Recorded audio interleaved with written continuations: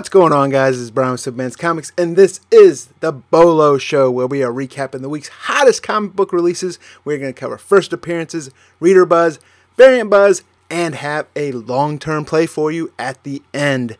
With me, as always, is my co host, Jack DeMeo, aka Mr. Bolo. What's going on, buddy? Oh, just got done watching that premiere of the Hot and Cold show. Of course, this is Wednesday night, and we are recording the Bolo show right here. Ready to talk new comic book day releases. Tons of releases this week, Brian. This is one of the best slates of new comics I've seen in a long time, so this is going to be an action packed episode. Right. I'm super excited about this week. Weekly picks. Full honesty, I had to cut some of the picks out because it started running too long, and I felt bad about that. But it was a huge, it was like Christmas in the comic book store this week. I actually had pre-order books, but I actually spent a lot in the comic book store picking up extra copies of books that I wanted. Looks like there were some books that hard to find, and then some that were just great. I haven't had a chance to read half of them, of course, because of we had the hot and cold show last night, and we're immediately, like you just said, we are recording the Bolo show. This is recorded Wednesday night, so if you're watching and you're in the live chat, just want to let you know this is pre-recorded, but as always with this show, we do have a sponsor, and that is Nick Dwortman at Slabbed Heroes. Make sure you check out slabbedheroes.com. Guaranteed 9 eighths at a great price, great shipping, and raw comics as well. As announced for the weekly picks video and a new sponsor to the channel in general, we also have Frankie's Comics. So make sure you check out frankiescomics.com. And we have a special 10% discount for Patreon members to Frankie's Comics as well, right, Jack? Right, just another reason to sign up for the Simpleman's Comics Patreon. We're already talking about exclusive content, access to Brian and I, as well as our amazing community, and those Bolo mystery boxes filled with heat. We're talking back issue Bolos, we're talking new releases from this Bolo list, and now filled with those Frankie's Comics exclusive variants. Right, so huge thanks to uh, Frankie's for sponsoring the channel and the weekly picks video, which is now brought to you by Frankie's Comics. So we're super excited to partner with Frankie's on that. But before we get into this week's Bolo list, we're going to recap a couple books from last week, right, Jack? Absolutely. So, coming up on the rewind for last week, the first issue we're going to talk about is the one everyone was talking about, and we're talking about Batman 77. Everyone was boo hooing. These books were taking off like gangbusters. They are still selling very well we had our own little rant about the book in general, but no denying this was a hot release last week, right? Yeah, definitely a hot release. Um, of course, no spoiler alerts or whatever, but you know it's a death of Alfred, obviously. Um, but you know, again, we talked about it last week. Is it a death? We don't know. How will this hold up? It's comics after all. What is the importance of the death? Um, you know, that remains to be seen. And um, I think even a bigger long term play, as we mentioned on the Hot and Cold show, is the Gotham Girl continued appearance as like Thomas Wayne's sidekick. But yeah, like you mentioned, this book is still selling. It has dropped a few dollars from where we were talking about it last week. Last week we were talking about it like twenty five dollars. It's around you know that fifteen dollar range now. But I think it may drop even more because getting to the point where people are starting to get their Midtown orders in, their TFAW orders in, their My Comic Shop orders in. And it's important to note that that's why if you pick these types of books up at your LCS, flip them quick because you want to beat those online orders to market. Um, it, you're always going to get a higher price. This is just typical. It's not. It's not even specific to this book. This is just what happens in these situations. Right.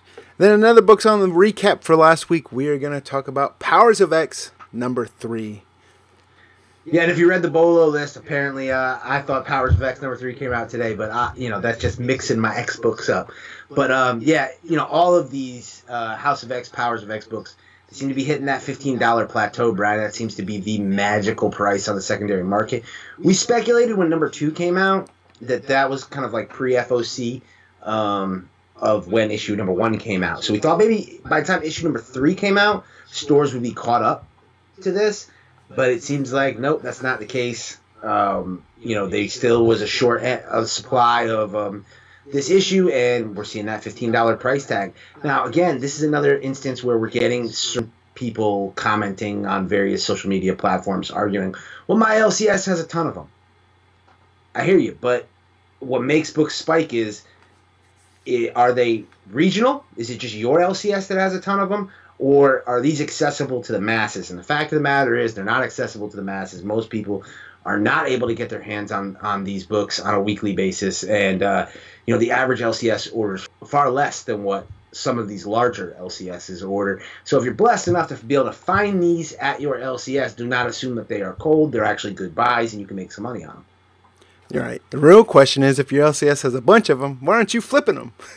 That's the big thing. Whether we're talking once in future first prints, whether we're talking any of these house or powers of X books, um, anytime that you're able to pick up books that are selling for $12, $15 in the secondary market, you can grab them for cover price. Yep.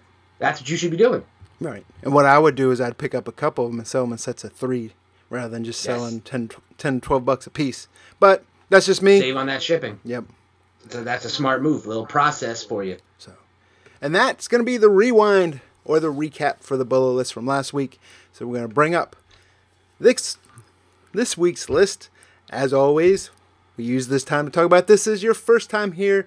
What's the Bolo list? It is the Be on the Lookout list where we cover first appearances, reader buzz, variant buzz, and then a long-term play by Jack. Jack does create this list. He gets it out usually late Tuesday night, early Wednesday morning. So it's a snapshot in time. We realize things change. News cycle hits early on release day, and a lot of comments come in saying, "What about this book?" But the list is already created and it's already been published. So, with that being said, Jack, this is a big list this week. It is, man. It was a huge list. You mentioned you had to cut some stuff from the weekly picks, and I, I really had a hard time putting this list together because there were just so many books that people were talking about. I still feel like there were some books that ended up getting almost left out. Um, I mentioned to you before recording the Runaways. Big big event happened in the Runaways where we got to see Doc Justice and the J Team. That big announcement from Marvel. We still don't know who Doc Justice is, but the J Team is the Runaways. It seems like it's a graduated name for the team. So you know, and that's just one. That's just one uh, um, book that we that we didn't get a chance to highlight on the list. Um, that's probably a nice spec book, but uh, you know, it's one of those things that you can only talk about so many books, and I could barely fit this amount of books in the graphics. That's size six font, guys. I was gonna, I was about to say what, what kind of what size font you use in there, but yeah, Size six, which is just barely visible. right. So, without further ado, we're gonna get right into it. We're gonna start with the first appearances of the week. And first on the list, we have Red Hood number 37. Now, this had what, four first appearances in it? Four first appearances. So you're talking about a four dollar book with four first appearances. You're looking at a dollar a first appearance. You really can't argue bang for your buck with that one. Um, now, I will say this is one of those kind of like late breaking um, popular spec books. There was a lot of talk about this one around Friday. Um, we started to see um, Mighty Mel V YouTube channel. There was a lot of talk about this book. Uh, you know, and and again, I think some. It, I don't think it's a coincidence that this book was heavily talked about on that show and then sold out at Midtown pretty much right afterwards. At the same point, I can't argue the spec on this. You're talking about four characters, like I said, four dollars. Red Hood and the Outlaws is not a highly printed book, so at that point, you know, if any of these characters pop off, you're going to get a good opportunity to make some money. So I do like the speculation play from that angle. You're looking at the first appearance of Cloud Nine, DNA, uh, Babe in Arms, and Devour. So with you know, with that, like I said, you got four shots at hitting it big. Now, will they hit it big? There's a lot of DC first appearances that I think people don't realize kind of come and go. So um, it all depends on what the long term plan is with those characters. We will see. The uh, designs that they put out um, on Twitter, uh, they were pretty cool. Some of the characters I think are cool, some of them not so much, but it'll be interesting to see what happens. Right? Could we possibly have a new DC Presents 26 type book here with a bunch of first appearances in that book, including Cyborg? Right? I don't, I don't know. You're, you may be making a leap there with that DC Presents 26. I think that's one of my favorite. Still to this day, I think that's one of my favorite back issue spec plays. Um, I still think that book is undervalued, but yeah. Um, best case scenario, sure. That's what you could be looking at here for sure. Right.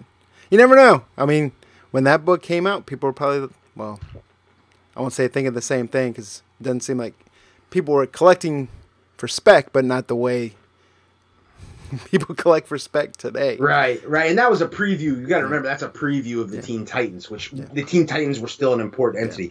The real question about these characters is where do they fit in? They're going to be, I guess, outlaws. Yeah. Um, and the outlaws as a team has never been say anything of note as of yet. But Red Hood is popular. We just talked about Red Hood and Jason Todd on the Hot and Cold show. Shout out to Catran Figures who who came in with that selection. Um, I definitely agree.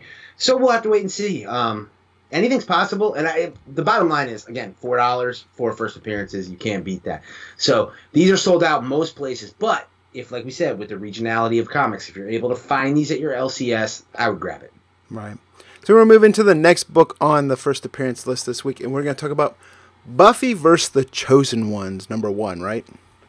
Right now, again, you, this is pretty cool, but there is multiple Boom Studios releases on this list this week, and two come from the Buffyverse. Um, this was the first time, you know, we've seen some some Buffy discussion going down recently. There's some momentum behind this, and it's funny because when we first started talking um, Buffy the Vampire Slayer and um, Angel and these releases, it, it, it, felt like we were kind of the only ones talking about it. Uh, you know, we obviously we had Arune Singh, the VP of marketing from Boom Studios, on the channel. But you know, now it's really picked up. We're seeing more and more people talking about it. This is this book is called The Chosen Ones. It is the first appearance of the Chosen Ones. The Chosen Ones are some like old school, ancient um, vampire hunters, similar to Buffy. Um, and it seems, I mean, we're coming right before Hellmouth. We're coming right before the big crossover. It seems like these are going to be important characters. And the Solicit laid it on thick. They let us know that this is like some extremely important characters. So I would be on the lookout for this one. This is one that your LCS may not be aware of. I don't think it's going to be hugely printed. Um, I like that cover in the middle. That's kind of my favorite cover of the three. But I would be on the lookout for this one. I think this is a good stealth buy. I've mentioned this before. I got to feel like Buffy's coming back to some form of media at some point. Right. And I fixed your camera, got you raised up a little bit. Looked like you were sitting next to the king a little. Can't sit higher than the king. So now I'm yeah, and I was trying to struggle to like lean back and like you know I was trying to. I'm glad you noticed that because I was trying to do a couple things so I didn't look so short. You're making a you know Brian's six three, I'm five ten, so I start to feel some sort of way about it. Yeah, it's like Shaq and Kevin Hart over here. right. It's starting to make me feel some sort of way, Yeah.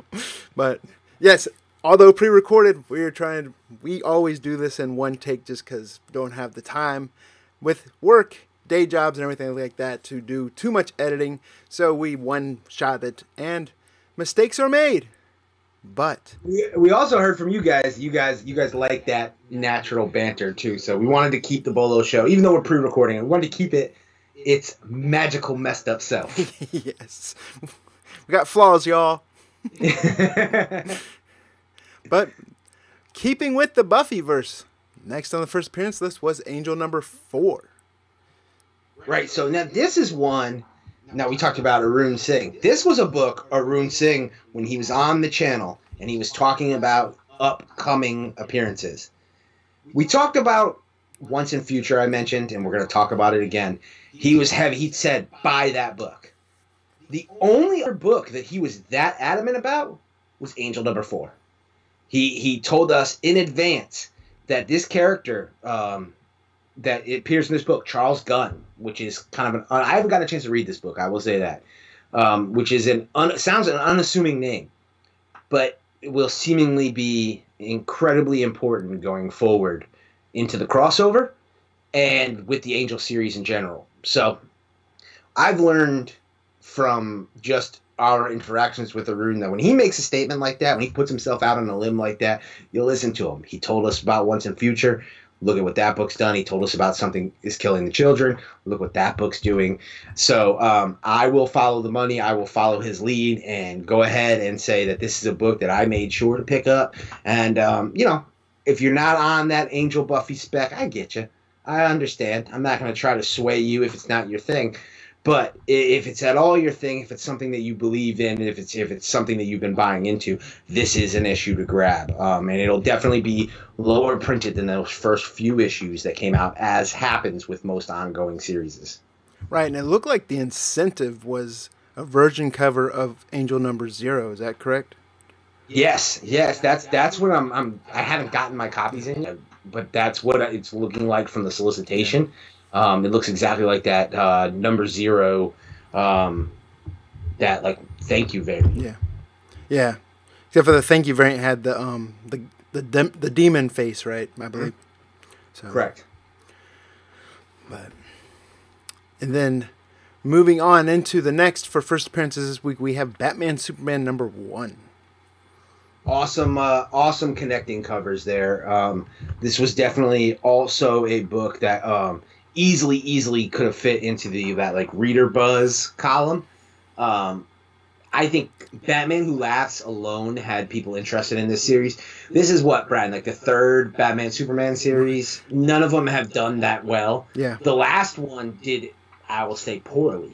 Um, but this one, just putting Batman Who Laughs on the cover got people interested. Shout out to whoever in the DC comic marketing team decided to do this as a connecting cover with half of Batman Who Laughs on one cover and half on the other because it made speculators need to buy both copies. I think that was that was a genius move. Um, I, I like the cover B, but I just think that the, those two cover kind of cover A's are gonna hold water.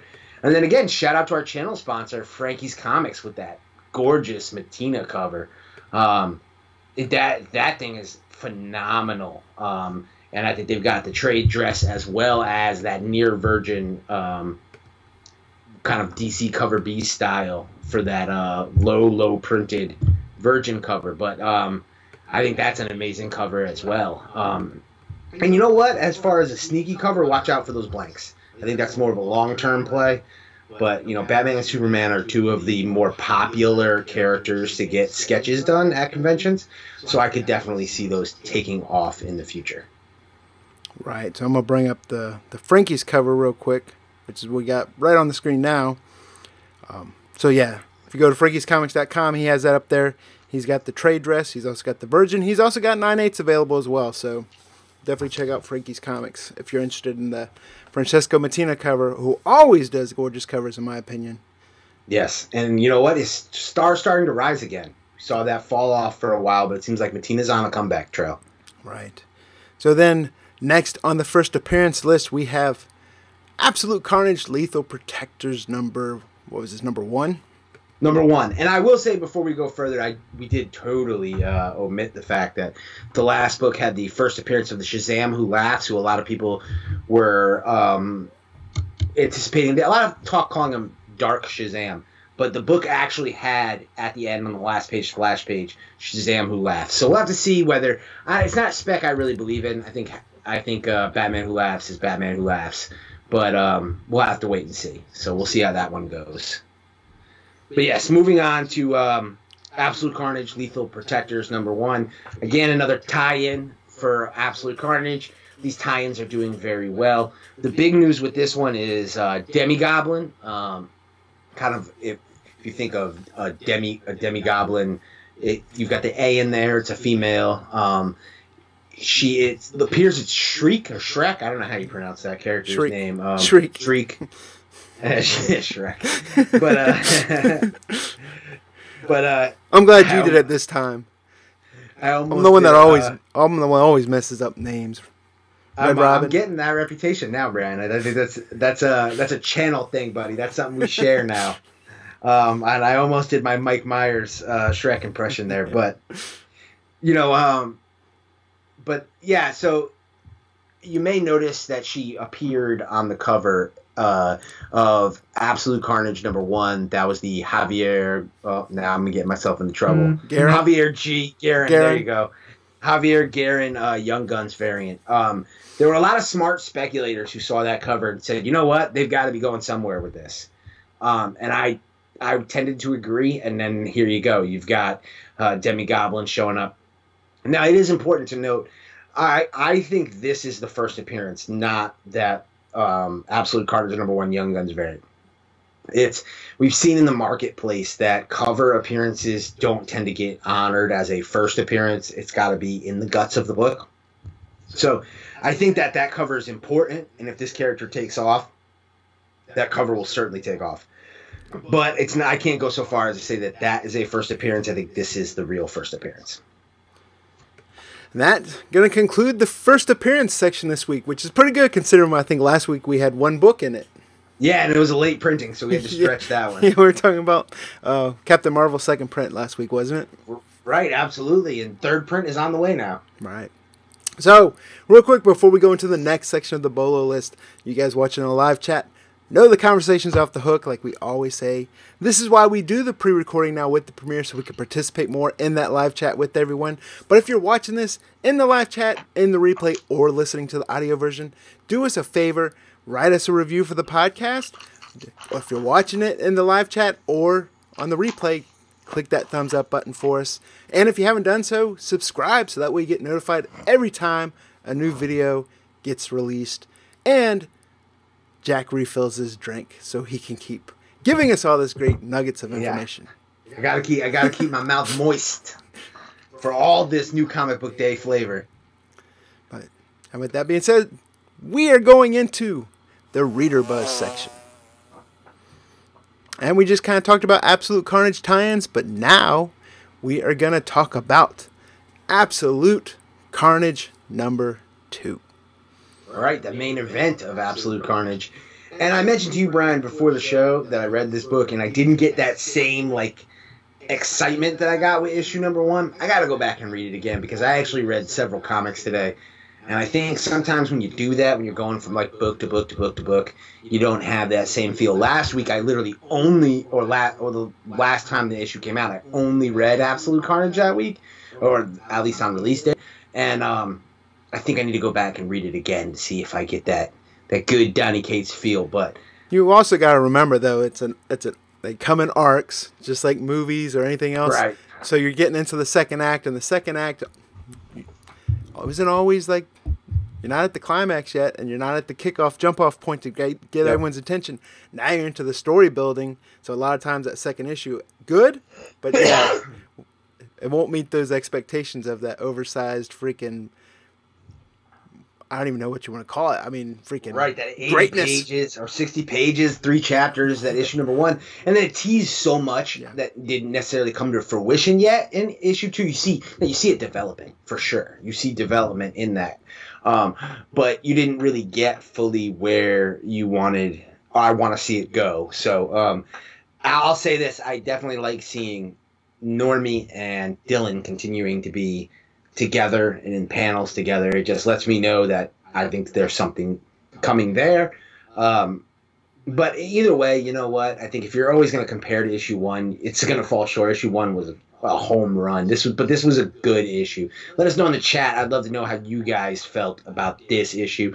Um, am I just off base on this one, or is it, you know, was it was it just as good? And then a lot of people have been talking about that Young Guns variant. Brian, you brought that up to me. Uh, you said you grabbed that one, didn't you? Yeah. One, one, because I'm a big fan of Marco Checchetto, but two, also as Nick at Slabbed Heroes had pointed out, is and you kind of pointed out earlier that these Young Guns variants they're pointing to characters that seem to be fleshing out further on down the road in the story. So who knows? But gorgeous cover. I picked that one up, and I picked up the regular cover because all the other variants weren't available at my LCS. Right, and I think there's a lot of people talking about uh, Manwolf. A lot of people are excited. Um, I will say there was some talk during the Hot and Cold show about would he appear in the um, She-Hulk show because they have a relationship. I would say no because you're looking at a Sony character. J. Jonah Jameson's son would probably not be able to cross over. But there definitely looks like they're trying to build this character up uh, within the kind of Venomverse Spider-Man universe. So definitely a character to keep your eye on, though, for sure. So moving on into the next one, in the reader buzz is House of X number three. Just like Jack does, I've done it before myself. House of X, Powers of X. Each week we're getting a new book, and sometimes it's easy to confuse the title. So on the Bolo list, we have Powers of X, but everyone knows what book we're talking about because it's the book you see when you go to the comic book store, and this week it was House of X.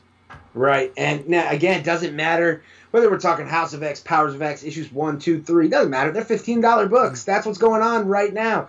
And it's funny. My whole pump and dump rant went to somebody trying to tell me that um, you know, issue number what was it, number two or yeah. whatever, wasn't going to be a fifteen dollar book. Uh, well, issue number one, two, and three of both all House and Powers of X have all become fifteen dollar books. And I, it's not that I'm some sort of you know psychic prognosticator. It's just when you do this long enough and you start to see these trends, you start to realize what's gonna what's kind of playing out here. And this is just a prime example of stores, even though they had an opportunity with issue number three to kind of meet that reader demand, they may be meeting the reader demand of their initial issues number one and two, which is still a large jump up for an issue number three because we've talked about this on the channel. I keep referencing this interview with James Hake on the Indie Spotlight series where he talked about the traditional drop in circulation going from issues number one to two to three. But the problem is with these House and Powers of X, it's a lot like how we talked about on the Bolo show last night, or excuse me, on the um, Hot and Cold show last night about the way uh, the Boys TV show has been. This was something that the more people talk about it, the more people are jumping on board. I know a lot of people who are not big X Men fans, people like Brian, and the more you they hear, man, this is an incredible series. This is something you've got to read. You're more apt to check it out. You're more apt to read it. You're more apt out of the issues, and that's what we're seeing with this. This is straight up reader buzz. There's some spec in there in different issues, but it's not a spec driven. These are not spec driven. And again, you know what? I got to pat, pat myself, pat my man Brian on the back a little bit. Again, when we started working as a team on this channel, one thing we wanted to drive home was the power of reader buzz. The fact that reader buzz can drive sales. We got laughed at. We got told we were wrong. We got comments in articles saying, well, we don't care what you guys want to read. And it's not about what we want to read. It's about when the masses all have a similar opinion about reading something, it can literally drive speculation. We've seen it with Immortal Hulk. We've seen it with the, everything Donny Cates writes. And we're seeing it here now with Jonathan Hickman's House and Powers of X run.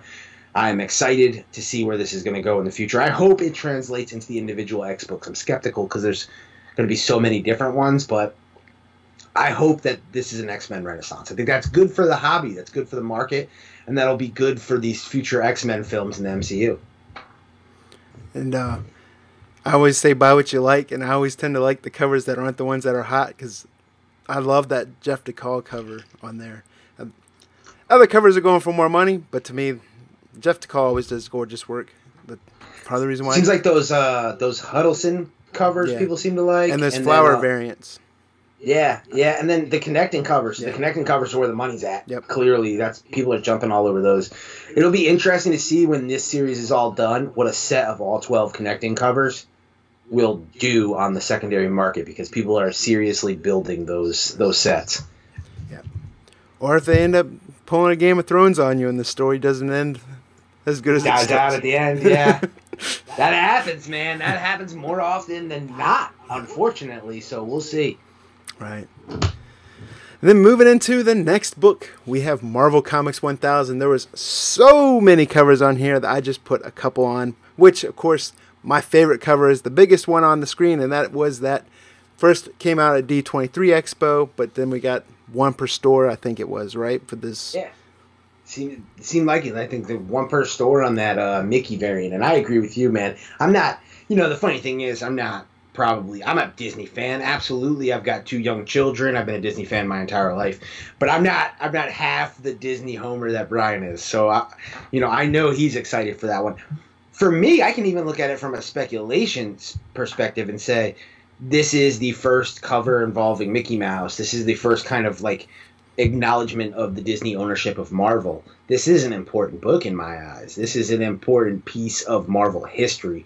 Um, the cover's gorgeous if you just look at the artwork of it. Um, look at the I, attention to detail in the background with like the Hulk poster and everything. You know all the the nostalgia and like this the short box with the X sticker on it, and it's just yeah. Rob Liefeld pointed out Deadpool in the background, yeah. and um, you know it seems like they really worked hard to get all corners of the Marvel universe. You know, yeah, yeah, Brian, you know how to work. well, I was gonna say leave it to Rob Liefeld to point out. not something else. not something else. Someone else. but you know, he said he said his wife uh, showed him, but yes, um, absolutely. And uh, it's funny though you mention it because you actually left my favorite cover out, which is the one that you showed me. You picked up yeah. uh, from your LCS today. That Tedesco. Um, incredible She-Hulk variant, and if I mean now She-Hulk's timely spec right now, right? But at the same point, that's just a gorgeous cover. Even if no one cared about She Hulk, I think that's an incredible cover. You saw some cover heavyweights like Gabriel Dell'Otto, J. Scott Campbell appearing on the screen. It's funny how some of them have been overlooked. I'll say shame on retailers who are charging over cover price for some of these cover price variants. I've seen a lot of that, unfortunately. Um, a lot of $12, $15 prices on books that should be cover price. Um, but at the same point, um, a lot of great covers to choose from. Definitely an important book. I feel like every Marvel fan should buy this book, some cover of it at least, just for the history of it. Um, you know, it was something at first I thought was going to be a gimmick, but I, I think it's a very unique thing that they did, having kind of like each page, each section be written by a different kind of corner of the Marvel writing team. Different, you know, everybody got their shot. Um, there's actually also spec in here because we see the debut or first appearance or I don't know what you want to call it of the Eternity Mask. Um, and you know every artist did it a little differently, kind of into their time period. Um, I don't know if there's any spec there. I don't know who's wearing the mask. I don't know what whether it's a new character, whether it's an existing character, whether it's going to turn out to be Stan Lee. I don't have any idea um, if, if there's solid spec there or not. I will say it's more than I expected going in. And the big news surrounding this book has been Mark Waid. Um, you know, I don't want to get too much into it, but Mark Waid wrote a essay like is in each of the kind of chapters or pages of the book. And the, and the essay is supposed to come from the character's perspective, and it was definitely more Mark Waid's political perspective. Um, which, like I said, I'm not going to get into that because that just is going to cause division, and we don't want that. Um, whether you agree or disagree with it, either way, this is a celebration of the history of Marvel and Disney. And you got to be careful when you're one talking for Captain America, a guy who represents each and every one of us. Um, and that's not to say I don't agree with some of what he said or not agree. It's nothing to do with that. It's just that's a big weight. And you're writing for Captain America, that's a big weight. So that Marvel decided to change that from the original um, preview that dealers got. It, honestly, it's a non-story. I like I have to mention it because if I don't mention it, um, it's going to be brought up. Um, but it's a non-story because the only reason anyone knows about it is because LCS has got to preview the book, and then it was changed from the preview. And that's about it. It's not like it's an error or recalled printing or anything that you guys should go running out and trying to grab. Um, just a little kind of blurb that nobody will remember a couple months from now. So we're going to move on into the next book on the Reader Buzz, and we're going to talk about Action Comics number 1014. A lot of people are looking forward to 1015, but we have an appearance in 1014, right? And who's that of? Right, Naomi. Naomi in the mainstream continuity. And if you can tell, I'm excited I am because I've said it before, I'm a big believer in Naomi. Um, I, this is kind of getting to be typical, guys, of what we see from both Marvel and DC. I think when you have an expected appearance, like we know Naomi's coming, and she's on the cover of Comics 15. I think we need to start paying attention to these issues beforehand. Wouldn't you say, Brian? Yes. I mean, it seems like this is what's happening. This is what happened with Star, right? I mean, everybody was expecting that issue nine or ten, and we got it in eight. Um, I I think about the way people are anticipating Venom with Venom 19. Could it be Venom 18, where we see you know that Dylan transformation of some sort. Um, I, I don't know. I'm speculating, guys. That's what this is. This is just talk. Uh, I don't know. But everybody was highly anticipating Naomi showing up at Action Comics uh, 1015. That cover with her on the cover is gorgeous. I mentioned on this channel that it was a book I pre ordered um, pre FOC. Um, this one definitely slipped past me, but I, I, made sure to grab it because I think it's going to be important. Um, I think that the print run on this book will be less than 1015 because people saw 1015 coming. Um, and it's people are going to give me KO versus full. It's not even a first appearance, so it doesn't really matter. But um, it's it's important in that it continues to solidify Naomi's importance in the DC universe. Definitely. then moving right along, we're going to IDW with another big title, and that's Teenage Mutant Ninja Turtles number 97 huge, huge issue.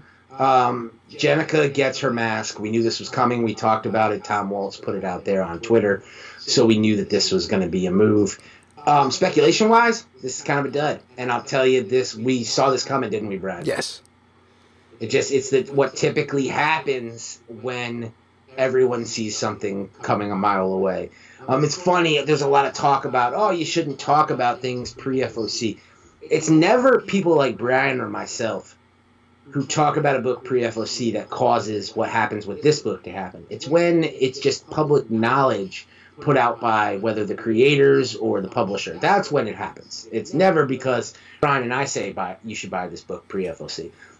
So Tom Waltz immediately tweeted out what was going to happen. And that, if you're not familiar with Tom Waltz, he's the writer of the, the series. Um, he will be jumping off this book at issue number 100. He's written the first 100 issues. He's been the kind of the curator of all things TMNT. Um, but yeah, so he um, he put it out there. We all knew it was coming. Stores jumped all over store variants. There's several store variants of this issue. Again, shout out to our channel sponsor, Frankie's Comics, who did that uh, Vasquez kind of like sketch Jennika cover limited to 500 and sold out in like an hour. Like it, it was in and out. You if you missed that window, you didn't get it. Um, and again, I don't blame retailers for cashing out on this monumental issue. Now, because of it, it cover A and cover B were so heavily, heavily, heavily ordered. Uh, and that's why they're still available at most retail, large retail outlets. Cover C, that one in ten variant, was sold for at Midtown for thirty four dollars. Yeah, we, we've talked on this channel how we hate retailers like Midtown trying to play the speculation game, trying to drive that price up. Um, that's what they get. That's why they're sitting on them. If they priced it at twelve dollars or something like that, they'd be sold out right now. Um, but you know what, Brian? I mentioned this to you before the show. My favorite cover. You know I'm a long-term play guy. Yeah, that's what I talk about on this channel. This I very well could have slotted into my long-term play. The only reason why it's not is it was obvious. I feel like we've talked about every issue of Ninja Turtles since 95. Um, and we're going to talk about Ninja Turtles with 98 for sure and probably 99 and 100. So um, wanted to talk about something a little different, a little bit more off the radar with that G.I. Joe book. But cover B, that Eastman cover, featuring Jennika on the cover. I mean, that is the first Jennika Ninja Turtle cover that's not a retailer exclusive. I really think there's some serious long term value in that book. If you look at these three covers, which book screams why this book is important? You want to talk about cool subtlety? Look at that yellow trade dress. Yeah. Um, that's something that you may not have picked up on until I said it right there. Um, the yellow trade dress at the top and at the bottom with the City of War. Um, she's got her bandana on. That panel where Splinter gives her the mask and tells her, you know, uh, try this on. Um, you know, you you may like wearing this mask more than you think, and she puts it on. It just feels like an important moment in Turtle lore, and uh, I think this book has some serious, serious staying power. And you know, we live in a kind of no patience speculation community. So it, this book can easily be panned, or people can think, "Oh, Turtle Spec is over." It's not. This is just what happens. I hope that this causes people to order 98 less, and then that'll allow us to make some money on 98. Um, and there's going to be some big events in 98 that we already know about. Um, so we may see the same thing from 98. Either way, I said since the start of being on this channel, my my favorite thing is speculating on these IDW properties, but I never ever anticipated on speculating on them and flipping them the week they come out. The game has always been to let the market dry out and then make your money, and I just think that's what you're going to have to do with these uh, if you grab them. If you grab them and you want to dump them, there's going to be plenty of people looking to pick them up from you. Um, I will probably be picking up uh, that cover B for a while and stashing that. I, I really like that one long term. So moving on into the reader buzz, we're going to go into Absolute Carnage Miles Morales number one, right? Right. This is another one where, um, you know, we, this is featured in two categories on this list in the reader buzz. I think every Absolute Carnage tie-in is going to end up in the reader buzz section. People are reading these tie-ins more than I've ever seen tie-ins read. I don't want to rehash things we've already talked about, but Brad and I have talked about comparing it to War of Realms, how most of these tie-ins get skipped. It seems like Absolute Carnage is the exception to that rule. People are reading these tie-ins, and because of that, it's always going to end up on the reader buzz section. Also, Miles Morales is really popular right now. I mean, that seems like a redundant, obvious statement. Um, he's been popular for some time, but all the stuff going on with like the Dark Miles and all of that. that definitely has people's attention. Um, there's Miles back issues tearing up the back issue uh, list. Having said that, this one was all about that Javier Garrón. Garrón. Yeah. Oh yeah, the one that was classified, right? That had the classified cover. Every time Marvel does that, that book is guaranteed to sell out. Um, I don't really know if this doppelganger is solid spec. If I'm being quite honest with you about that, I've seen this stuff in comics a lot, and it doesn't tend to stick, right? But having said that, um, I think this is a great cover price pickup and flip right now because that book is going for what, Brian? Like 15, 20 bucks? Yeah. So, you know, I don't begrudge anybody who's making that move at all, especially why this uh, series is going on for sure. Yeah. I, I ended up picking up one because it was cover price. I wanted the Lupacchino cover just because I like Lupacchino, even though it's Black Cat on the cover. But I did like that, and I got a copy of the regular cover just because, like you mentioned, really in Miles Morales Sp- Spider Man, we also got a new subscriber, so thank you to Jason. But right now, I enjoy reading the Miles Morales Spider Man more than any other Spider Man book out right now. I did like uh, Peter David when he was writing 2099, and Mattina was doing the covers for that. But as of right now, my favorite Spider Man title to read is the Miles Morales Spider Man. My favorite is Spider Man Life Story, which also came out today. Um, you know, the truth is between Spider Man Life Story and the series, I would say Amazing Spider-Man is coming in third on the uh, best reads of Spider-Man right now. Right. And with the with the upcoming J.J. Abrams Spider-Man series, right. we may see that trend continue. I don't know. But keeping with Spider-Man, we're getting into the next book on the Reader Buzz, and we're going to talk about Venom number seventeen. This was a spec book. You know, this was everyone trying to play with the. Is this where we're going to get the Dylan moment?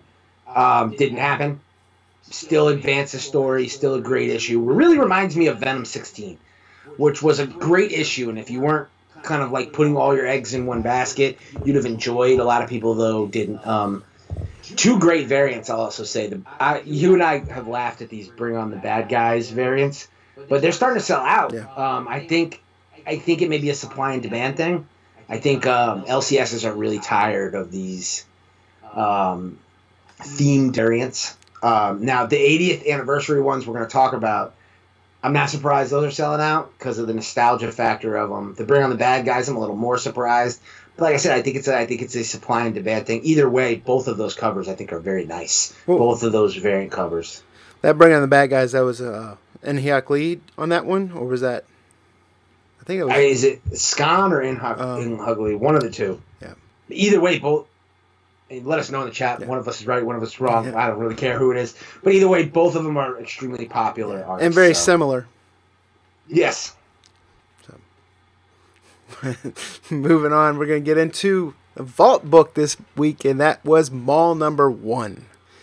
This is one book that I actually got to read an advanced copy of because I didn't get to read any books that came out yet today. But I have read Mall number one and thoroughly enjoyed it. I Was able to get an advanced PDF right around San Diego Comic Con. They had uh, previews for this book their vault was handing out there it had Mall number one then it had like a three or four page preview to uh, the plot right i believe but mm-hmm. great story another one of those apocalyptic type stories where culture's destroyed everyone's pretty much living in a mall and they're divided by class from you know higher class to lower class and a higher class son gets accused of murder and they basically banish him and he has to live outside the mall where evidently there's creatures and monsters, and that's where the first issue leaves you. But it left me wanting more, and I can't re- wait. I can't wait to read the second issue on this one.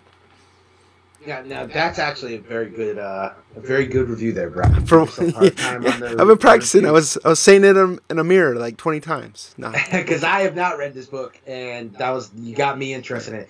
Um, if you know anything about me, you know I have worked in a lot of malls, and I think there's some good parallels with um, talk about classism in malls because you know malls tend to get broken up. This is the white mall, this is the black mall, this is the rich mall, this is the poor mall, this is the this, this is the that, and then even within your malls. Um, this is something that maybe you haven't noticed, but the stores that are on the top floor tend to be of a different economic class from the stores on the bottom floor, and so on and so forth. So, um, I don't know if that's where Vault Comics was going with it. I have a feeling maybe that was sort of the thought. But um, it's it's definitely um, I feel like a good setting for a story like this. What is the, uh, the the homage cover? I've been trying to figure out what is that from, Brad. I was doing the same thing too, but I want to say it wasn't uh, kind of reminds me of the, the Punisher. The oh yeah, the uh, was it the uh, Punisher the uh, magazine yeah, right? That's I mean that's what I thought of. I might be totally wrong, but that's what the homage kind of reminded to me. Yeah, it definitely feels like one of those old Marvel magazines for sure. Um, and then you know what, Brad? I think we'd be remiss not to talk about the controversy surrounding this book, right? Yeah. So, uh, you know, um, we did an interview. I mentioned the, the James Haick interview. The night that we did that interview with him, he was red hot, wasn't he, Brad? Yes. Because that was when this book had just been announced, and obviously Scout has an extremely popular series called The Mall. And when this book was originally solicited, it was solicited as being called The Mall. Um, and there was some cease and desist. There was some um, legal back and forth. We I mentioned uh, Mel V. Mel V. refuses to read this book out of protest in support of James Haick, um, who yeah we love James Haick, but you know I'm gonna read comics, man. But uh, you know their Vault to kind of avoid that lawsuit, they dropped the the the from the title. So now we have the Mall from Scout and Mall from um, from uh, Vault, and um, I, I, get where James Haick's coming from. You got to protect your own. If this is the Bolo show, if somebody came out with this show and they called it the Bolo, I guess I would, or Bolo show, I guess I would have a problem with that as well. So I get where he's coming from. It's tough because mall and the theme and concept behind malls are kind of generic. Um, seems like anybody can do it, but um, it was probably a much ado about nothing. I don't think that it's been anything more than a couple headlines when the initial lawsuits happened, but still, you you know, something to keep an eye out for. It'll be interesting to see what happens with adaptation. If this movie, this gets adapted into a movie similar to the way the Mall from Scout is getting adapted, we may see some title changes, and we'll see how that affects speculation long term. So evidently, it's a Blade homage. Blade, okay. But be on the lookout for Blade homages. Uh, might have uh, might have a little something uh, coming down the works, but yeah, be on the lookout for Blade homages. Definitely, but yeah. So don't recognize them all, and I'm sure we'll get comments on that. Oh, didn't know it was a Blade homage. what are they hey, doing? Listen, I'm gonna be honest with you. Vault's had a couple that I haven't known straight from from looking. Uh, and that was a fun part of that conversation talking with the Wassel brothers about how they go about choosing these homages and some of them are really obvious like when you look at um, the previews and upcoming foc you're looking at things like the first swamp thing uh, or deadly class number one those are real obvious but that adventure comics 381 one i had to look that one up i had no idea yeah i remember it was a um, i remember it was, i remember the, the cover it was representing couldn't remember the issue i remember it was a supergirl type cover. Right, yeah, that was for Sera and the Royal Stars. Yeah. And look, who are we to talk? We made uh, Queen of Bad Dreams, and we did the first one we did was uh, Detective Comics 31, and everybody started hitting us up saying they had no idea what that was. yeah, that, that cover is ugly, man. so, so what do we know, right? You know, so yeah, we liked it. We felt good about it, but you know, didn't work out like that. Then, but anyway, copy's still available. Comicbookinvest.com. Hit that variant tab. Definitely, and now you know that we make mistakes. That's my first one I think I've ever made, though. Just to be honest. So ever, yeah, ever, ever. So won't let that happen again. Yeah. Moving on into the next one in the reader buzz, though, we're gonna go with Mountain Head number one. This is another one where Midtown played that game with the speculation with the variants. They, they got those that Stegman variant for twenty dollars. Um, I, again, don't love that they do that. It's got it's. I think uh, clearly collectors don't like it either because it's still available, and I don't know that it would be available if they would have priced it normally. And then again, when it sells out, then we start to get that speculation buzz of, oh man, it sold out at Midtown. So we didn't really get that. They limited one per copy on the regular cover. The story sounds interesting to me. This was one I liked from the onset of previews. You're looking at, you know, a thriller kind of horror story. Um, you know, you've got an expedition and there's a lone survivor and um, definitely one that sounds like it could be very dark. We've talked about this on the Hot and Cold show. Horror is hot right now. So I'm interested in this book. I ordered this book. Um, I, matter of fact, I ordered 10 copies so I could get the incentive myself. Um, I haven't gotten them in yet. I'm anxious to read this one for sure. I like that Stegman cover though, man. Ryan Stegman is a guy.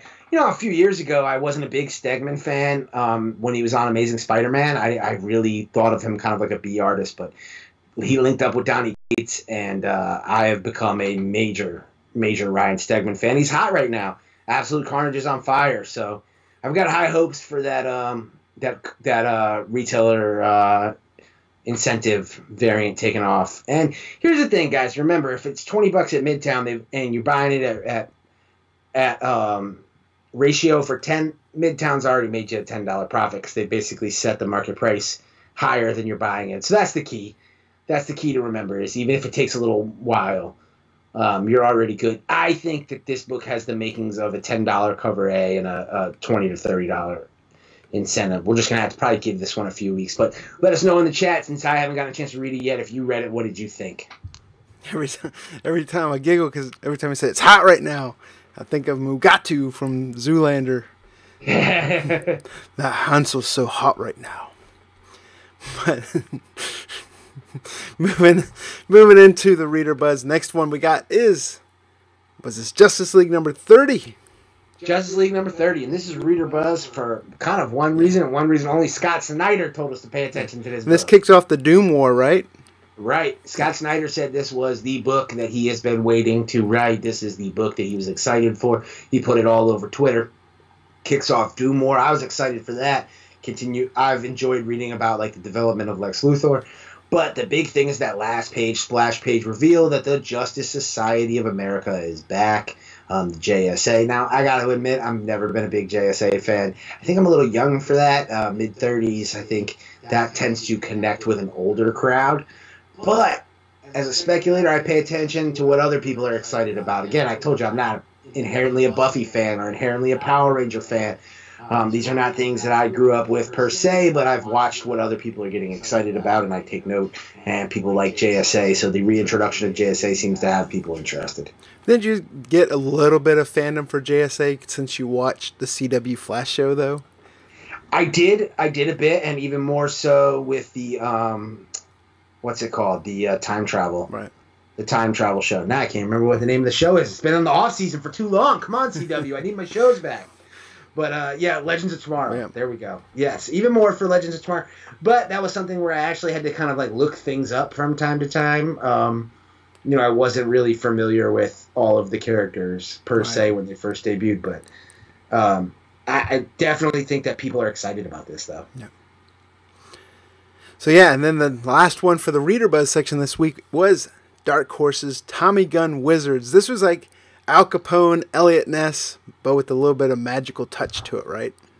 Yeah, I don't know how I feel about this one. Part of me says again, um, this would be like a hard movie. Or would they make an Eliot Ness, Tommy Gunn, or uh, Tommy Gunn? Would make an Eliot Ness, Al Capone movie with um, wizards and stuff? Uh, we've already had so many good Eliot Ness, Al Capone. Uh, can you touch the Untouchables? Really? I don't know.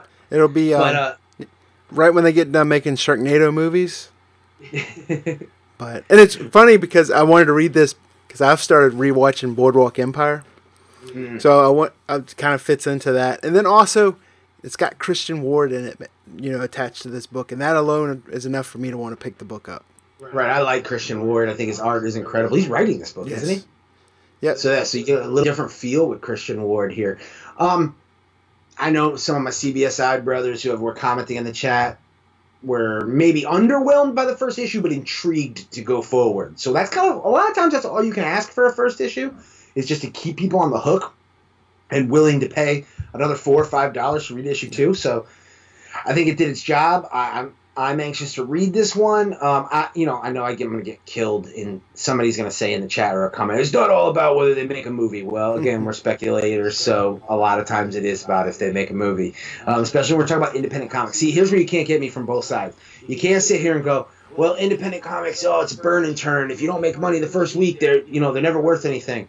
and then say, well, it's not about making movies because that's how it becomes not a burn and turn situation. Is that when everyone fades off and pays attention to something else, then that speculation comes back into play when things get optioned. And um, you can sit here and say, well, everything gets optioned. That's another thing you hear. But um, yeah, but a lot of them get made into movies. Not everything is ever always going to get made. That's the nature of Hollywood. But again, first look deal with Dark Horse and Netflix. Um, will we see Tommy Gun Wizards on Netflix? I don't know. It's really it's hard for me to predict these Dark Horse properties. I'm not a huge Dark Horse guy, but I, I'm trying to grab Dark Horse number ones um, in anticipation that some of them are going to end up on Netflix. Let us know in the chat if you guys are doing the same. If they can make that many freaking Spy Kids movies, they can make a Tommy Gun Wizards movie. And DJ Qualls got to be the bad guy, and then Fred Savage should be Eliot Ness. but we I'm mentioned all about some more Fred Savage, baby. yeah, I mean he's already been in one Wizard movie. But also, we talked about Christian Ward a lot. It's important to know that a lot of people are talking about that B cover, and that was um, Declan Shalvey, I think, believe that did the variant for that, right? right, that's another artist who I think is underrated. I like Declan Shalvey. And with that, that brings us to the end of the reader buzz. But before we get into the variant buzz section, real quick, make sure you guys hit that thumbs up button for us. And if you haven't done so already, please consider subscribing so you'll always be notified of future content. Because, like we're going to tell you at the end of this show, we have some great new content lined up. But before we get into that, we are going to get into the variant buzz. And the top. and thank you, Eddie, for subscribing. Shout out to you, Eddie. Yes, it's always good to be interrupted with subscribers. So thank you Never so much at that. because that's what it's about the community, and we really appreciate it. But the first book on the Reader Buzz section was Teenage Mutant Ninja Turtles. This is number 96, the second print, correct? Right. That's how I feel about that one. Um, you know, I'm already not huge on that issue because you know you got the the old comics politicians coming out there stomping their feet saying it's a first full appearance of Jennika, and I don't agree with that.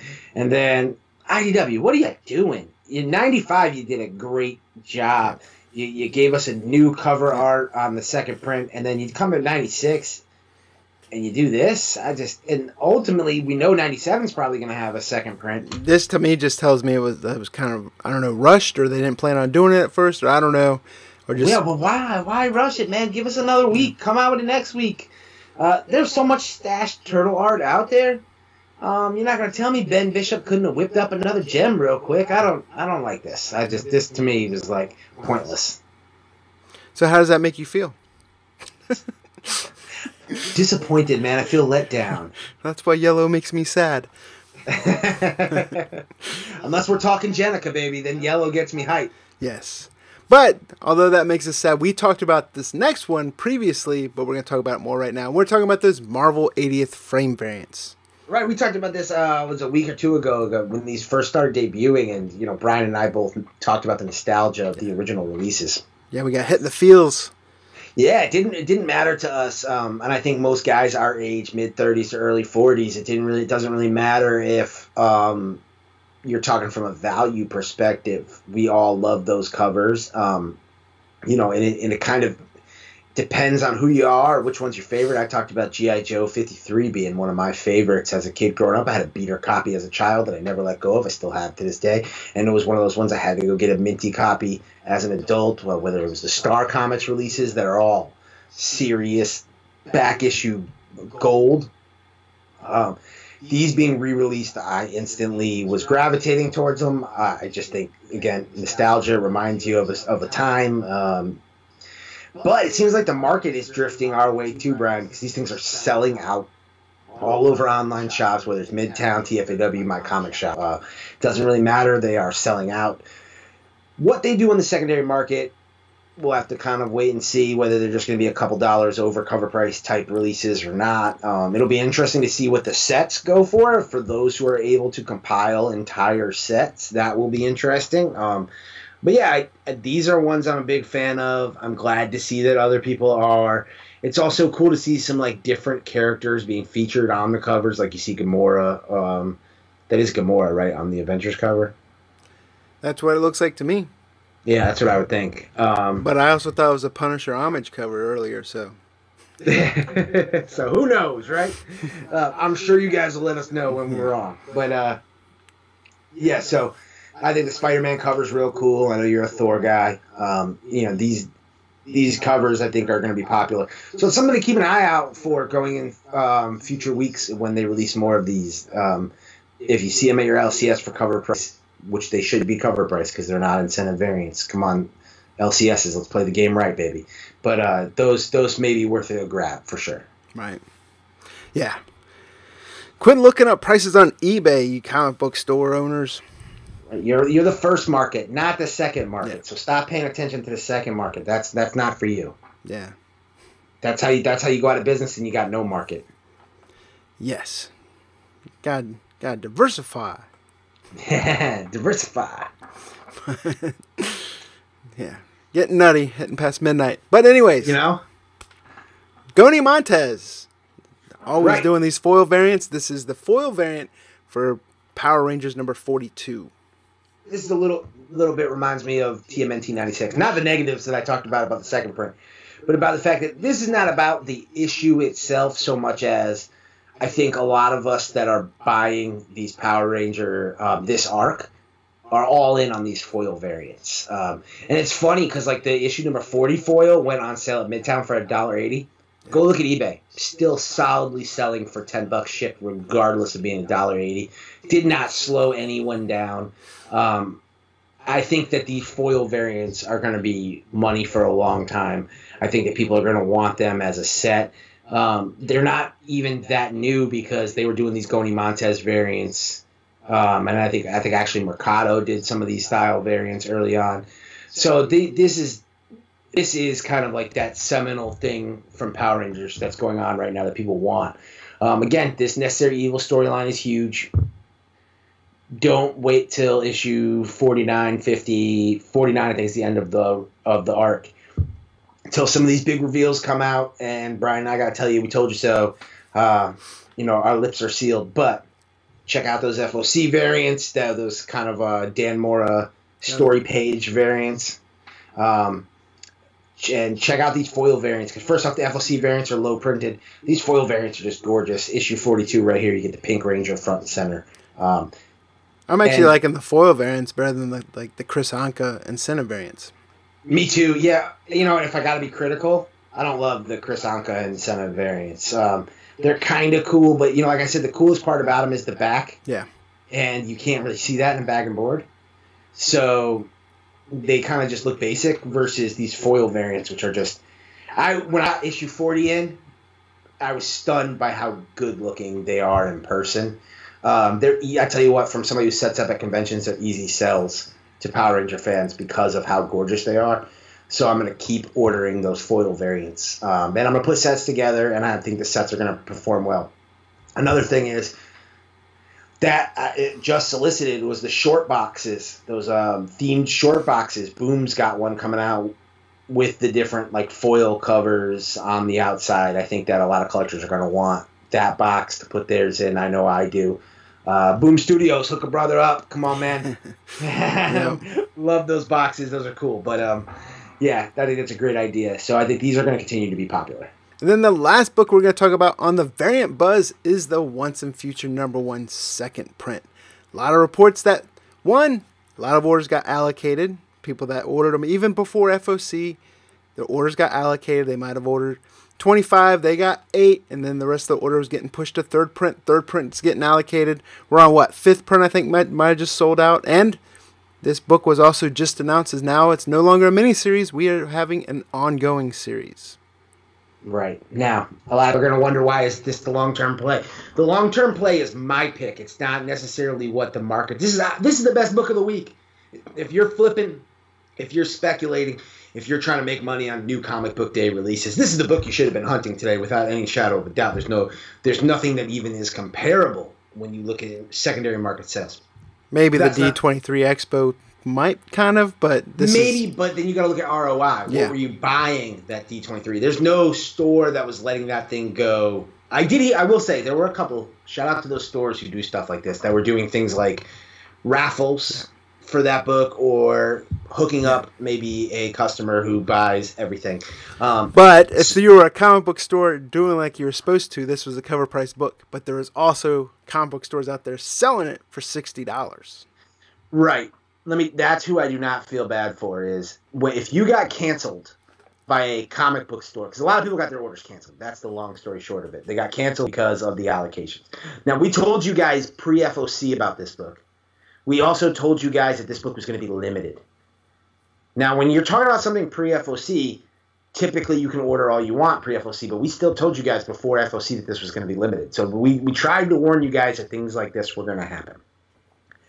Now, Brian mentioned all these stores that did pre-sales. They are retail stores, and I'm not going to name anybody by name. I'm not going to take it to that level. Um, but there were some stores, some named stores, who were all over eBay selling 40, 50 copies of this book at high prices.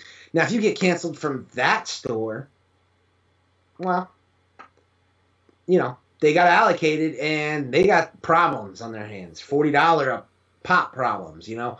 So it, that's where these stores are kind of taking advantage of the situation, and um, it's it's a dangerous game to play.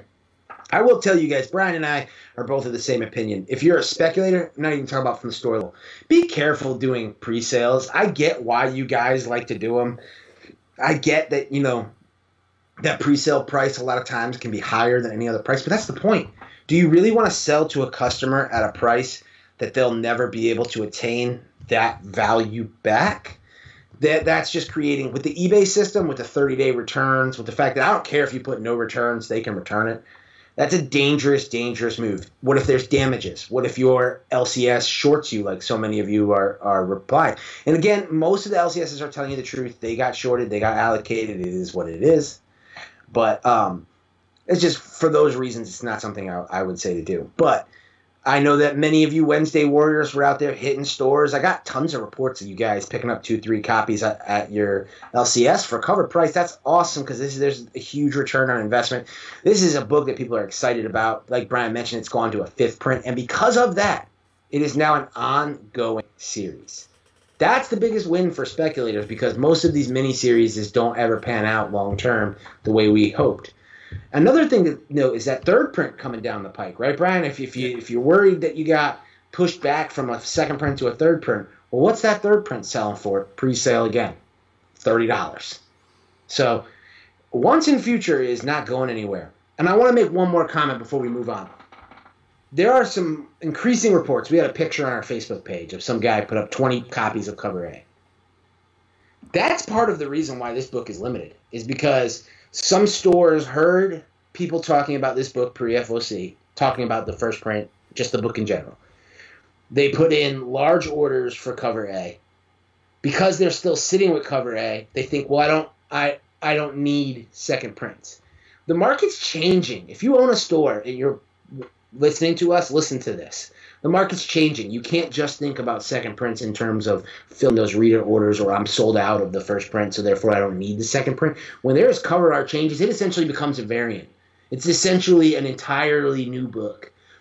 So the just because you did not get uh, or you still had cover A's available does not mean that you should then not order this second print. Also, just because your LCS still has cover A's available that means nothing to the speculation of this book because we mentioned this when we talked about this book uh, for the long term play of the week. This wasn't available in my area anywhere. That that first print has been long gone. That first print mostly went to subscribers and then a couple on the shelf type deal because that's the way it is down in North and South Carolina. You don't tend to walk into shops and see 25, 30 boom number ones.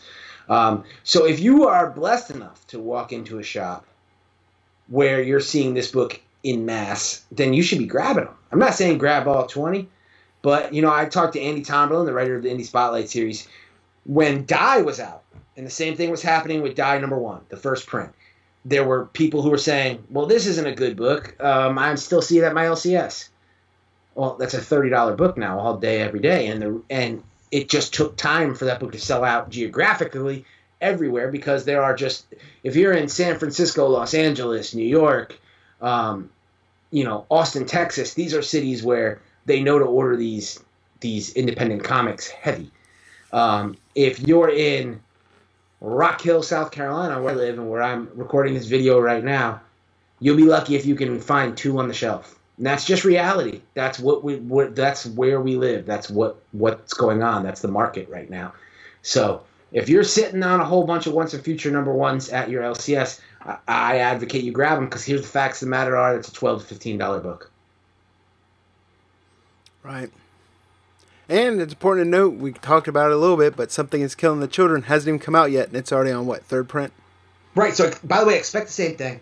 Yeah. Like if it, you just see this and go, and understand that this is coming, and also don't rip on Boom for this because the reality is, um, this is kind of a cool collectible. Not people got get kind of entitled out there. Um, you know, in all walks of speculation. Um, for something to be valuable, it needs to be limited. If everybody can get their hands on it, then it's not going to be as limited. You can't get mad about pre-FOC talk and then also get mad when you can't get a book. Um, it you know doesn't work both ways, guys. That's that's life is not that convenient. So work hard, find you a copy as best you can, see if you what you can do.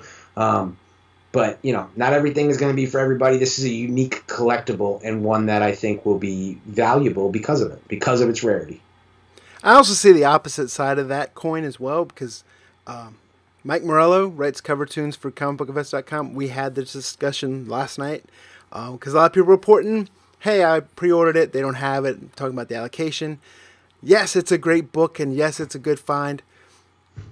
But if you can't get hold of it, it's, to me, it's not worth chasing for those prices. It's a comic book when it comes down to it. How many comic books come out a week?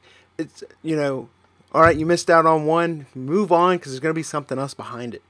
Yeah, you and I have always had that attitude. We talk about that on the channel. Like every week, how many books are we talking about are hot spec plays? Yeah. So if you if you tried to grab Dead End Kids number one and you didn't get it, don't get mad about it. You move on to the next week. There's going to be another book. It's always going to be that way. Yeah. Don't you know? Don't don't let things like that make you so upset that you then don't enjoy this hobby. Yeah. Or you ruin your relationship with your LCS. Yeah, I enjoy the thrill of the hunt, but sometimes it's just like on to the next one. But either way, so that wraps up the variant buzz section, and it is time for Jack's long term play of the week. And it's the one book, as always, we haven't discussed so far, and we are talking about G.I. Joe number 266. Now, when I say haven't discussed so far, I'm just talking about on this show, because we've been talking about this book we have we have certainly been talking about this book. We talked about this book as soon as the solicitation came out.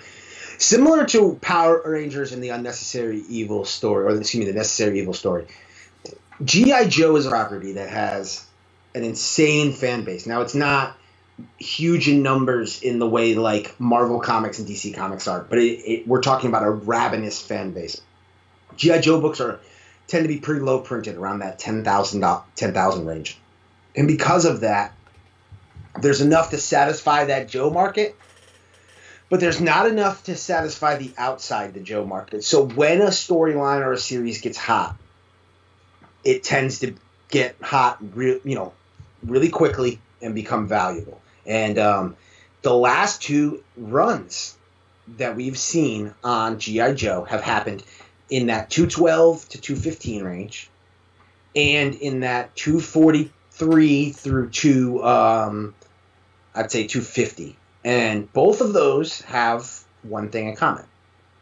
And that thing is what is currently being reported on as a new solo movie coming out from the Hollywood Reporter. But we're talking Snake Eyes. Um, if you were ever a G.I. Joe fan as a kid, everybody's favorite Joe was Snake Eyes. Now we all might have had our pet favorites. I'm a Deep Six guy. Um, that you know, that's the underwater. Um, Sergeant Slaughter.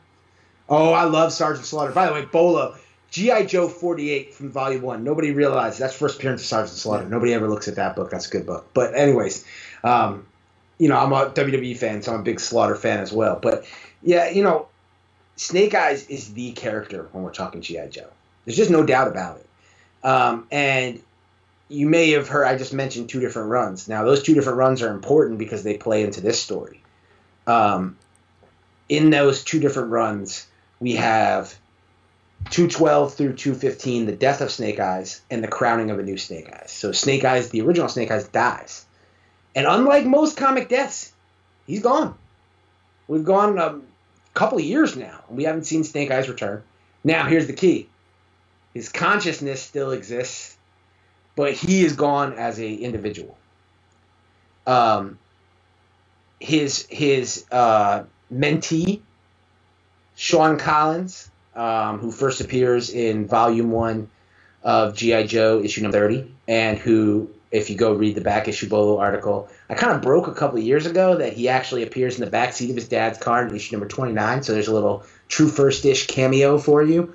Um, and uh, I never saw anybody talk about that before I did. Um, and he becomes Snake Eyes. Now he's known in the IDW series as Kamakura. I'm probably pronouncing that wrong, but that's how I would uh, Shinsuke Nakamura style um, uh, pronounce it, just based on reading it. Um, he is also known as Throwdown. That is his official GI Joe name, and um, he becomes Snake Eyes. He is then defeated. Um, they sort of hint at killed. Uh, Dawn Moreno takes over as Snake Eyes in that second story that we're talking about. Dawn Moreno first appears, I want to say in GI Joe 226. I may be wrong about that issue number, but um, she appears as a character. Then she appears first appears as uh, Snake Eyes in 243. It's got that cover appearance in 244. Um, 246, she's got that great design variant by Larry Hama that's incredibly popular. All the way up through 250, that's her main story. Is uh, her as G as Snake Eyes um, you can actually see her on the cover of that variant all the way to the right. That's that 1 in 15 incentive. Um, I believe it's by John Royal or Royale. Um, she uh, has the original Snake Eyes in her, her, his consciousness in her head. So that allows her to kind of accelerate her training and her skill set. Um, and that also creates obviously all kinds of problems. Anytime you got somebody else in your head, think Eddie Brock and, Venom style, um, two people with one body. There's always going to be kind of some issues there. So incredibly popular story, and an incredibly popular story where Sean Collins takes over. This storyline is called Snake Hunt. Now I gotta say, out of all these covers, cover A is my favorite. That that cover with um, Cobra Commander rolling the, the dice. That's a T-shirt right there. Oh, it is, and the, so many levels. Uh, you got the two Snake Eyes rolling Snake Eyes with the dice. Um, just a great, great, great cover. Um, but he becomes aware in this issue. I've got a chance to read this issue. I will say it was a little slower moving than I had hoped. I was ready to get into this action-packed story. Essentially, the whole story is the GI Joe's training and Cobra spying on them training. Um, and that's really kind of all that happens within that. But what you end up getting is you end up getting the fact that Cobra is now aware that there are two Snake Eyes.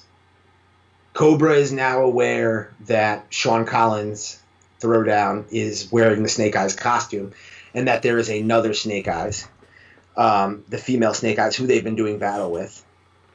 And it becomes clear to them that they need to capture one of the Snake Eyes. And we know from the solicits, I think that they're going to capture Sean Collins, and we're going to end up getting Sean Collins versus Dawn Moreno. I think I think they're working on technology where they're going to be able to, I th- believe, implant Snake Eyes' um, his consciousness into Sean Collins. I don't really know where it's going to play out yet, but we're going to end up getting Snake Eyes versus Snake Eyes, and uh, I think that this is going to be the next big GI Joe story. Now, if you're a naysayer and you're going to say, well, I heard comments like um, on comicbookinvest.com article, Jack's a homer. Well, yeah, or a fanboy. You're right. Look at my logo. I'm clearly a G.I. Joe fan. If you've ever watched this channel, you know I'm a G.I. Joe fan. So there's no doubt about that. I love G.I. Joe. But number one, we say buy what you like, right? That's what we say on this channel. So I'm going to also talk about what I like because I can talk about it passionately.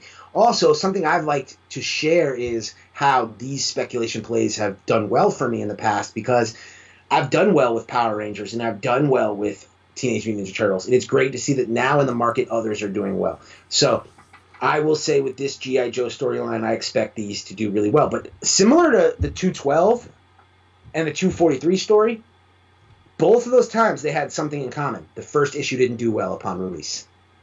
So do not look at this issue and the fact that it's it's not sold out everywhere yet and say to yourself, "Well, no, he's wrong." Don't do that. Because, like I said, not much happened in this issue. And if you wait for whatever issue, whether it's going to be um, 267 or 268, when we have that moment, that oh moment that inevitably will happen in this story, don't wait for that to happen to then go back and grab this, because that is what has happened both other times. G.I. Joe collectors, they're completionists, they build these runs, they are also readers. And so the GI Joe fan base, like I said, they make up enough to buy up all of this quantity. If you look on eBay, go type in GI Joe 266 in eBay right now, and or no, don't click off this show though. I mean, if you're watching it on the computer, if you're watching on the TV, look on your phone. If not, wait till the show's over.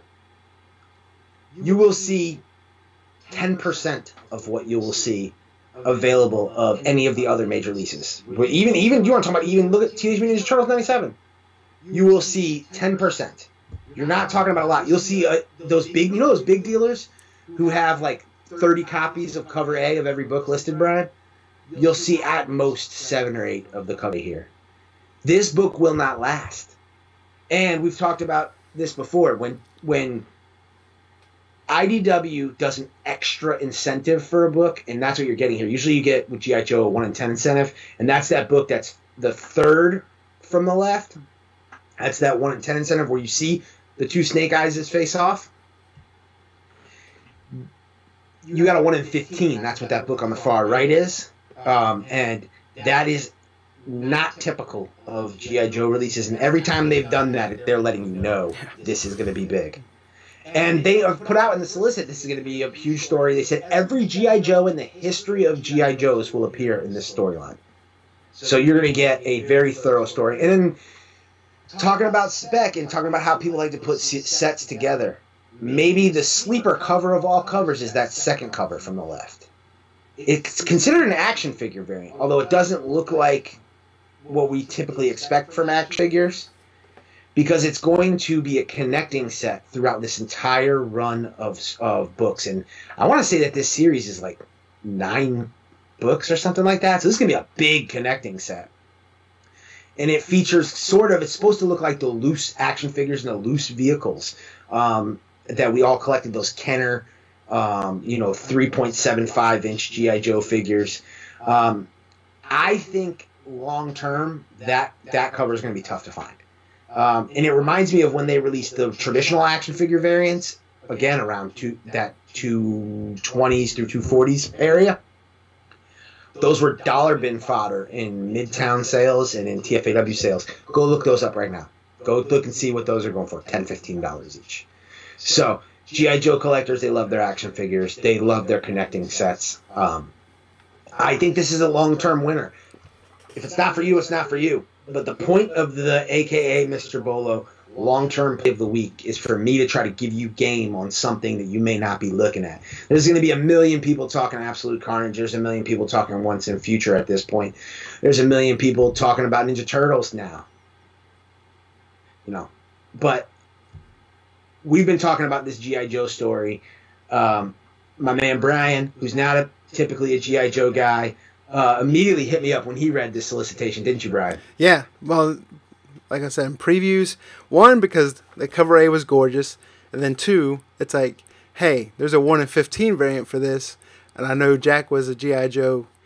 He reads the comic. I mean, I was an action figure guy, collected them as a kid, loved the cartoon, but wasn't a big GI Joe comic reader. So that's where I reached out to Jack, said, "What's going on with this?" And he kind of filled me in. And that from that point on, I was like, "All right, I'm on board for this arc at least." Yeah, and that's and that's what I would suggest is if you've ever considered jumping on a GI Joe arc, do it with this one. Give this one a try. Um, I find it very hard to believe you're going to lose long term on this one. And again, that's why it's the long term play. It's not the immediate flip. You're not going to make money in the short term on this.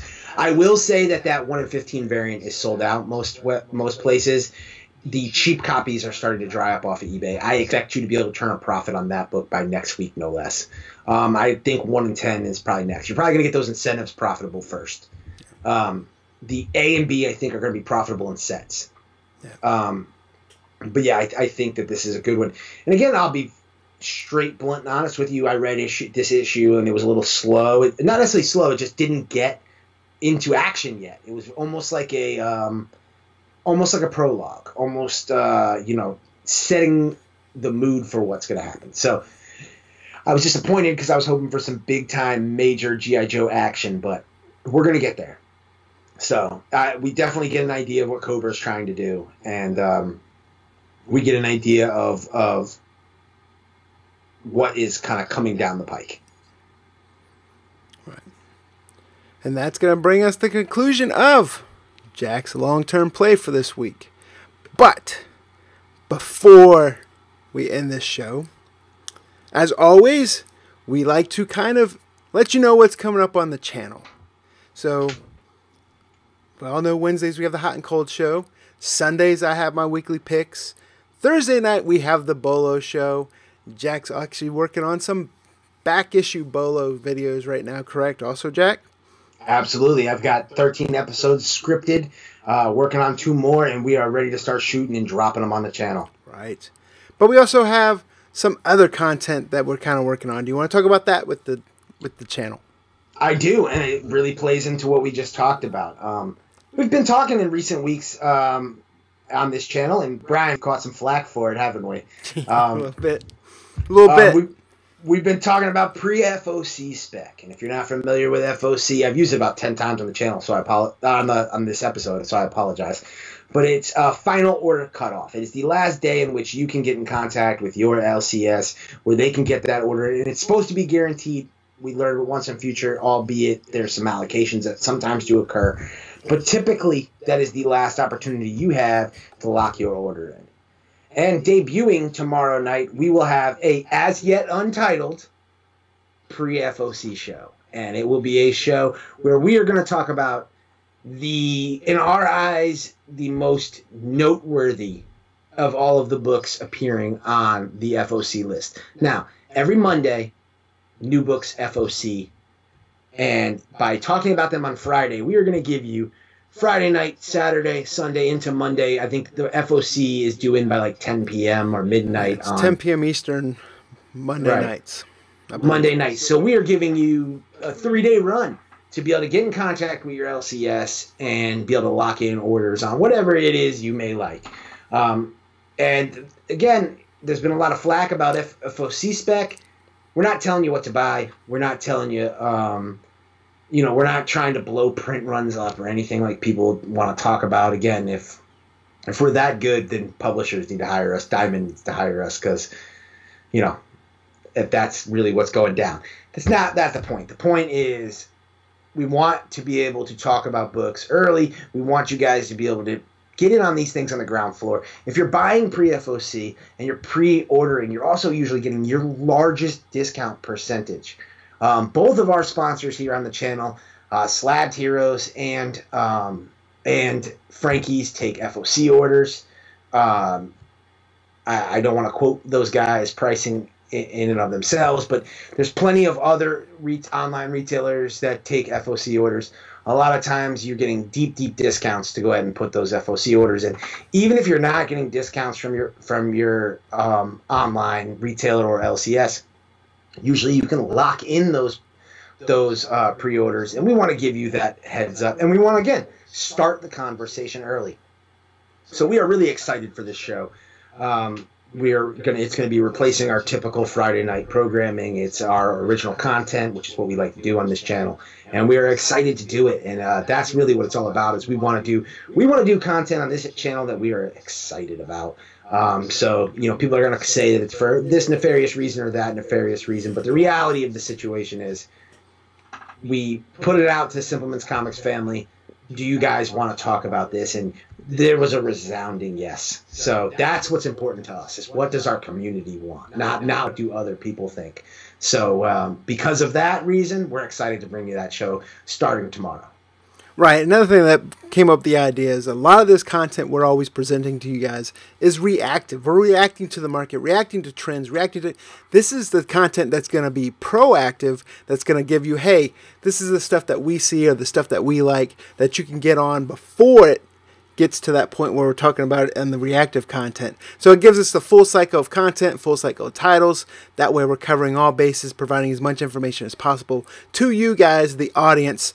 A lot of people, it's going to be, if it's if everyone enjoyed it, it wouldn't be worth talking about. So we like that type of content where it's going to have split type of audience. Some people are going to like it, some people aren't going to like it. But this is the way it's going to be, and we're happy to bring this content to you guys because we all enjoy comics. And it's about integrity and it's about community on this channel, and we can't wait to bring this new video to you guys. And we feel like now we're giving you the entire spec cycle, right? We're talking about books pre FOC. That's the your earliest point to order them. Then with Brian's weekly picks, we're talking about books a few days before they come out, getting you ready to do that Wednesday warrior.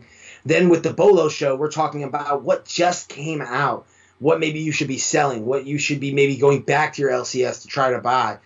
Then we've got the back issue Bolo show coming, where it's going to give you a look ahead at maybe some back issues you need to be grabbing from the back issue bin. And then the hot and cold show, which is telling you what is hot, what is moving, and what is not. And we are giving you the entire spec cycle, the entire spectrum of all things uh, comic books, whether we're talking new comic books or back issues, and all new comic books eventually become back issues. So we're excited to be able to do that and feel like we're covering all of our bases, as Brian said. So um, let us know again in the comments how whether you're excited about it, if you're as excited as we are, because we are definitely amped up to talk about this. Right. I will let you know there's one other window where you can order even before pre-FOC, and that's when previews comes out, and that's a full two months ahead.